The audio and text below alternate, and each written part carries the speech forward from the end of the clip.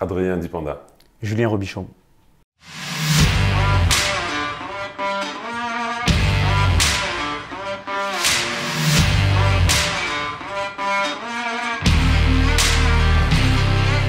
Quelle est la plus belle ville de France selon toi?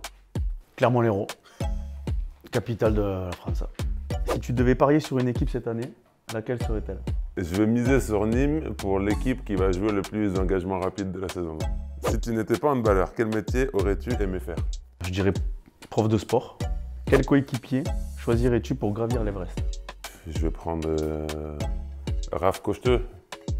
Je sais pas si c'est le plus euh, physique, mais euh, mentalement, il- je sais que je peux compter sur lui et, et c'est surtout le, le joueur avec qui j'ai joué le plus d'années dans ma carrière maintenant. Donc euh, je le connais par cœur. Je sais quand euh, il part un peu en vrille ou tout ça, mais j'ai confiance en lui.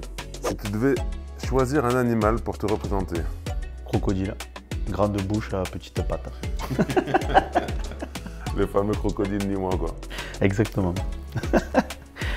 si tu devais monter une comédie musicale, quel joueur choisirais-tu? Euh, Jonathan Mapou, parce qu'il a, je sais pas, il a, c'est un personnage quoi, avec ses cheveux longs, son gros corps, voilà, il est charismatique.